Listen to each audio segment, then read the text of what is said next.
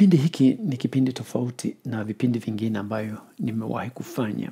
E, na itakuwa ni fupi tu. Nime, nimesikia kama vile msukumu wa ku, kueleza mambo kama hayo. Na, na ni kwako wewe ambaye unapenda kujua ukweli, unapenda kumjua Mungu wa kweli, lakini katika jitihada zako za kidini inawezekana wewe ni Mkristo, inawezekana wewe ni Mwislamu au una imani yako nyingine, lakini katika jitihada zako ni kama vile hujapata ile amani ambayo unahisi kwamba itakuwepo unapokutana na Mungu wa kweli. Mimi ninataka nikuambie hivi. Muombe Mungu wa kweli ajidhihirishe kwako. Na unapomwomba omba Mungu wa kweli ujidhihirishe kwangu.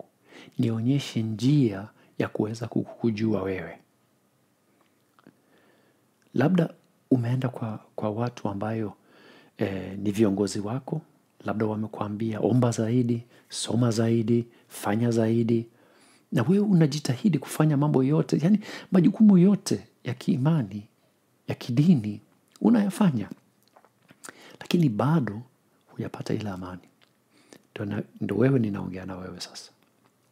Muombe Mungu akuonyeshe njia ya kuona ukweli na atafanya hivyo.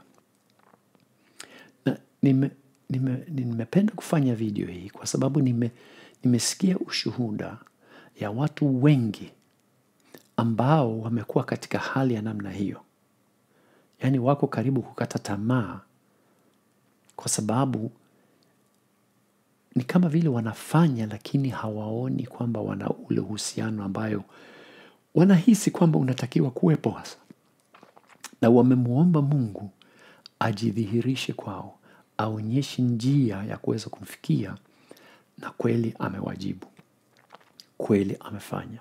Na ndio maana ninapenda nina, nikupe hiyo huo ushauri. Jaribu kufanya hivyo.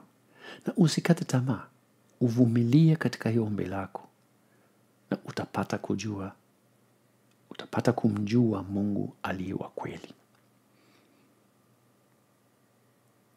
Ni hiyo tu, video fupi sana, na Mungu akubariki sana.